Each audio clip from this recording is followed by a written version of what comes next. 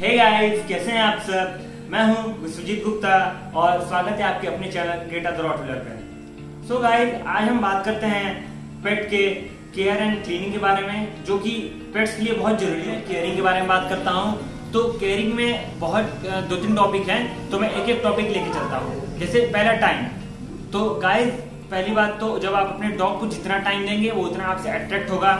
अगर आप उसे टाइम नहीं दे रहे हैं तो आपसे थोड़ा दूरी बनाएगा वो, आपसे डरेगा वो।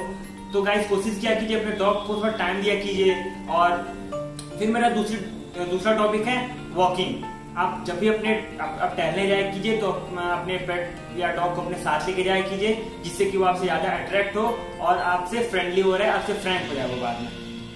और गाइस मैं तीसरी टॉपिक की बात करता हूँ फ़ूड से रिलेटेड तो गाइस अपने जो डॉग है तो उसको आप टाइम पे फ़ूड दिया आप दो तीन टाइम फिक्स कर लीजिए कि आपको कितने टाइम उसको फ़ूड देना है। मैंने अपने पिछले वीडियो में आपको बताया था, दो तीन वीडियो पहले मैंने आपको बताया था कि आप मतलब कितने मंथ की पपी को कितना अमाउंट में फ़ूड देना चाहिए।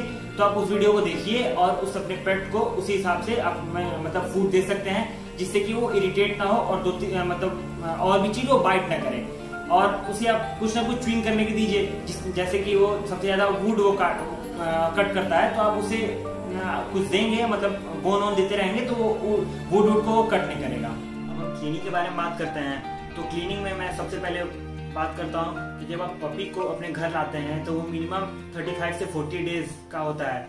तो आप उसे बात नहीं करा सकते हैं। बात दो महीने के बाद ही कराते हैं अपने पपी को। तो उसके बीच में उसके शरीर से बहुत बहुत उसमें कीटाणु दिखते हैं।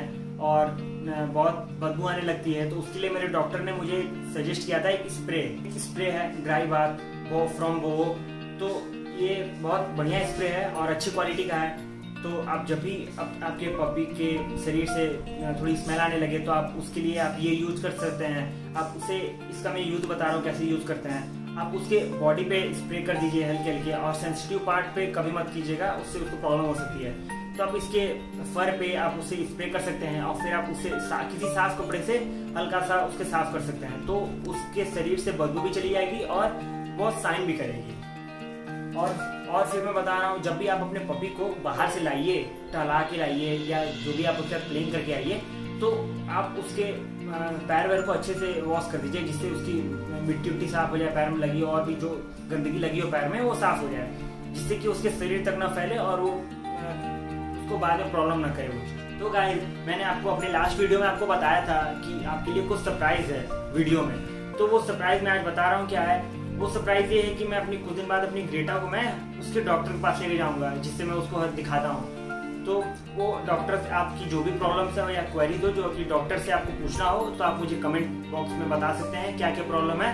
मैं, मेरी जो नेक्स्ट नेक्स्ट वीडियो है, मैं वो डॉक्टर पे ही डालूँगा। डॉक्टर से मैं बातचीत करूँगा और आपकी प्रॉब्लम को दूर करूँगा। If you like my video then like comment and subscribe thank you